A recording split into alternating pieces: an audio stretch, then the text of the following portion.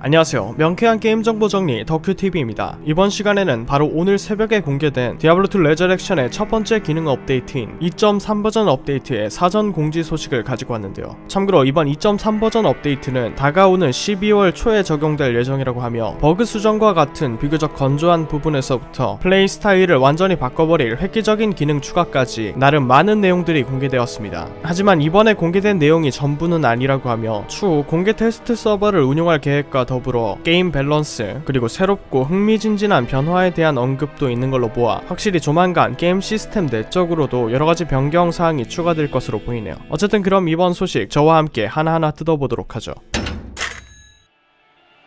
첫 번째로 콘솔 관련 업데이트 내용입니다. 바로 이제 콘솔 싱글 플레이에서도 게임 난이도를 설정할 수 있게 된다는 것인데요. 혹시나 잘 모르시는 분들을 위해 부가 설명을 드리자면 원래 디아블로2 PC 버전에서는 싱글 플레이에서 다음과 같은 명령어를 채팅창에 입력하여 게임 난이도를 임의로 변경할 수 있었습니다. 그러니까 예를 들어 슬래시 players 4라고 하면 해당 싱글방의 난이도는 멀티플레이 4인방의 난이도가 되는 것이죠. 하지만 콘솔 버전의 경우 이러한 명령어를 지원하지 않았기 때문에 그간 콘솔 싱글 유저분들은 무조건 1인 난이도밖에 플레이할 수 없는 상황이었던 것입니다. 하지만 이번 업데이트를 통해 드디어 콘솔 버전에서도 난이도를 변경할 수 있는 세부 항목이 게임 옵션에 추가될 예정이라는 것이죠. 한편으론 정식 오픈 때 당연히 추가되었어야 했던 기능이 아니었나 하는 아쉬움이 남긴 하지만 뭐 지금에서라도 개선된다고 하니 콘솔 싱글 플레이를 즐기는 유저분들께는 그래도 나름 좋은 소식이지 않을까 싶네요.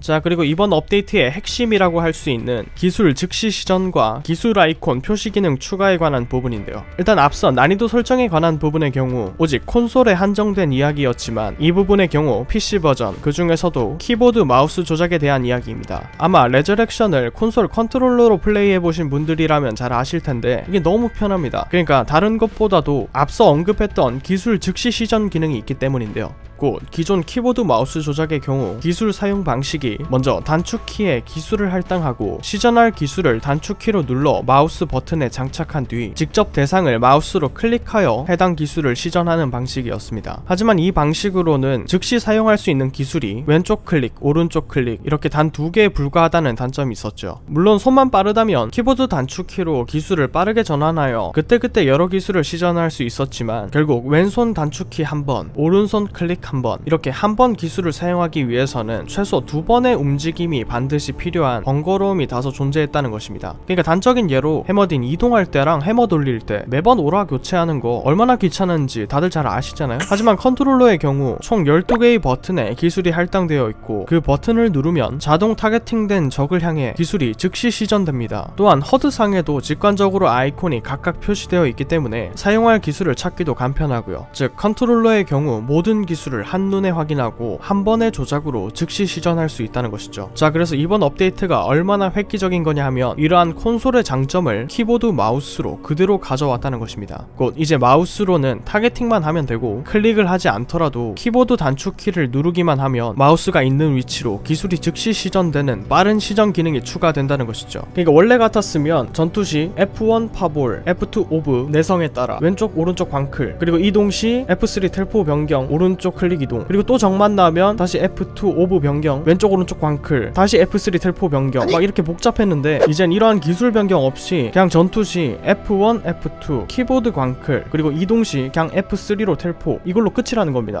즉 마우스 광클질이 아예 필요가 없어지게 되는 것이죠. 이게 사실 다른 top view 게임들에서는 이미 많이 적용된 시스템이기도 한데 대표적으로 롤에서도 옵션에서 즉시 시전 기능을 활성화할 경우 스킬 단축키를 누르기만 하면 굳이 마우스로 클릭하지 않더라도 마우스 위치로 스킬이 즉시 시전되는 기능을 사용할 수 있습니다. 즉 이러한 기능이 이제 디아블로2 레저렉션에서도 가능하다는 것이죠. 또한 그와 더불어 이제 강제 이동이라는 새 단축키 지정도 추가될 예정이라고 하는데요. 그러니까 본래 마우스 왼쪽 클릭의 이동 기능을 키보드 단축키로도 사용할 수 있게 된다는 말 같은데 이로써 이제 UI 조작을 제외한 대부분의 조작을 마우스 클릭 없이도 할 수 있게 되었다는 것입니다. 이는 아마도 마우스 클릭 기능을 키보드로 대체할 수 있도록 하면서 궁극적으로는 클릭의 게임의 빈도를 줄여 장시간 게임의 피로도를 줄이기 위한 조치가 아니었을까 싶은데요. 즉 이제 만신창이가 되기 직전인 나의 손목과 팔 그리고 어깨를 드디어 지킬 수 있게 된 것이죠. 하지만 혹시나 이러한 즉시 시전 기능이 불편해서 못 쓰겠다 싶은 분들을 위해 해당 기능은 옵션에서 켜고 끌 수 있는 on off 기능으로 제공할 예정이라고 하니 혹시라도 전통적인 클릭 방식이 편하신 분들은 해당 기능을 끄고 플레이하시면 될 것 같네요. 어쨌든 개인적으로는 지금까지 이러한 편리함 때문에 PC에서도 컨트롤러를 연결해서 주력으로 플레이하고 있었는데 가끔 위기 상황이나 세밀한 컨트롤이 필요한 상황에서는 어쩔 수 없이 키보드 마우스를 사용하게 되었단 말이죠. 하지만 이 기능이 추가된다면 조작의 편의성도 챙기면서 동시에 세밀한 컨트롤도 가능할 테니 사실상 키보드 마우스만으로도 편안한 플레이가 가능하지 않을까 싶습니다. 때문에 개인적으로는 이번 패치에서 가장 기대가 되는 부분이기도 하네요. 또한 이 기능과 더불어 이제 PC 버전의 HUD상에 현재 단축키에 할당된 기술 아이콘이 상시 표시되는 기능도 추가될 예정 이라고 하는데요. 즉 콘솔 UI에서처럼 현재 할당된 모든 기술을 한눈에 확인할 수 있게 된 것이죠. 참고로 기술의 권장 개수는 8개이지만 단축키의 개수대로 아이콘 역시 최대 16개까지 HUD상에 표시될 수 있다고 합니다. 또한 이 기능 역시 즉시 시전 기능과 마찬가지로 옵션에서 켜고 끌 수 있다고 하네요. 그리고 개인적인 바람으로는 buff 스킬에 남은 시간이 표시되는 타이머 기능이 추가되기를 바라고 있었지만 아쉽게도 이번 소식에서 해당 사항은 공개되지 않았습니다.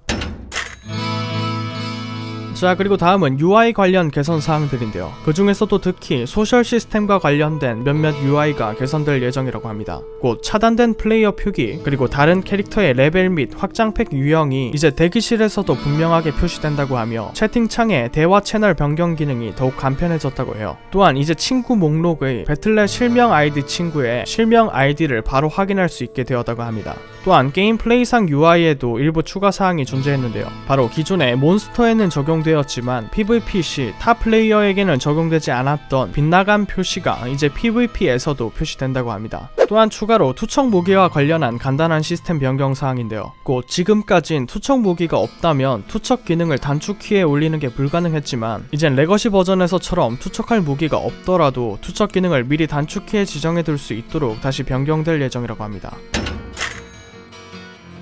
그리고 다음은 간단한 오디오 및 그래픽 관련 개선 사항입니다. 일단 오디오의 경우 컨트롤러 조작에 관한 부분인데요. 곧 이제 컨트롤러로 설정 메뉴를 탐색할 때 오디오 신호가 재생된다고 합니다. 그러니까 아마도 커서를 움직일 때 하는 그런 기본 사운드를 말하는 것 같아요. 또한 그와 더불어 허리띠의 물약을 자동으로 채울 때도 이러한 오디오 신호가 재생된다고 합니다. 또한 그래픽에 관한 부분의 경우 엔비디아 그래픽 카드에 한정된 이야기인데요. 곧 엔비디아의 DLSS 기술을 지원하는 그래픽 카드의 경우 이제 디아블로2 레저렉션에서도 해당 기능을 지원한다고 하며 기존보다 더 좋은 성능과 그래픽 품질을 기대할 수 있을 것이라고 합니다.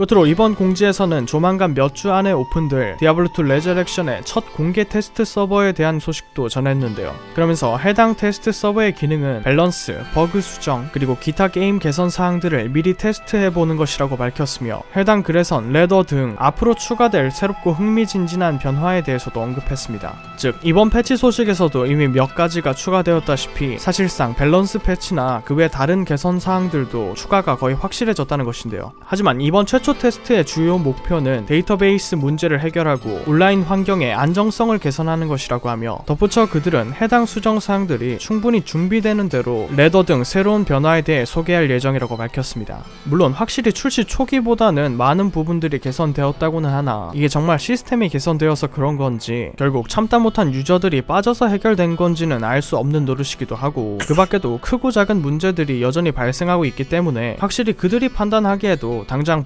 부가적인 기능을 추가하는 것보다는 여전히 서버 안정화를 최우선의 과제로 여긴 것이 아니었을까 싶네요. 그래서 제 예상대로라면 아마도 이번 해 동안은 계속해서 이러한 서버 안정화와 가벼운 편의 기능 개선에만 업데이트 초점이 맞춰질 것 같고 밸런스 패치 등 대규모 패치의 경우 아마도 ladder 첫 번째 시즌에 맞춰 내년 초쯤에서야 공개되지 않을까 싶습니다. 어쨌든 이러한 디아블로2 레저렉션의 개선 사항들을 미리 체험해 볼 수 있는 공개 테스트 서버는 누구나 참여할 수 있을 것이라고 하며 아마 기존 디아블로3나 타 게임들과 마찬가지로 배틀넷 launcher에서 간단하게 참여할 수 있지 않을까 싶네요. 또한 이와 관련된 자세한 정보는 추후 다시 공지할 예정이라고 합니다. 물론 저 역시 다음 소식이 공개되는 대로 빠르고 명확하게 정리하여 여러분들께 전달해 드리도록 하죠. 자 그럼 이번에 준비한 영상은 여기까지고요. 전 다음 영상에서 또 다른 진짜 이야기로 다시 찾아뵙도록 하겠습니다. 그럼 2.3 업데이트와 함께 손목 건강 챙기세요. 뀨